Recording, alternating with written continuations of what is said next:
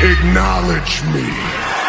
तो आज इस वीडियो के अंदर हम लोग बात करेंगे कि क्या कल हमें Ronda, Rousey, new, SmackDown women's champion बनते हुए दिखाई दे सकती है या फिर नहीं तो गाइज़ कल होगा Charlotte Flair versus Ronda, Rousey के बीच एक singles Raw SmackDown women's championship का मैच एंड इसकी एंडिंग मतलब किस तरीके से चैंपियन बन सकती है, इसके बारे में बात करेंगे।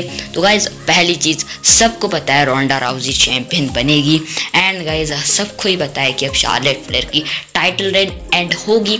एंड वो हमें रोंडा राउजी हमें न्यू रॉ स्मैकडाउन में चैंपियन होती हुई दिखाई देगी। पता नहीं मैं हर बार क्यों रॉ में चैंपियन ही बोल रहा हूँ, लेकिन मे बी गैस वो हमें हराती हुई दिखाई देगी।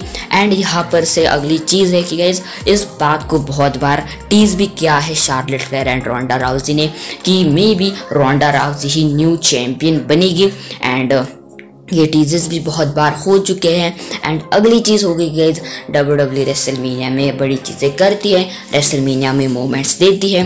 तो मे भी ये रेसलमीनिया मोमेंट हमें मिलता हुआ दिखाई देगा गाइज़ इस बार रोंडा राउजी को एंड वैसे भी वो वुमेंस का रॉयल रंबल जीती है।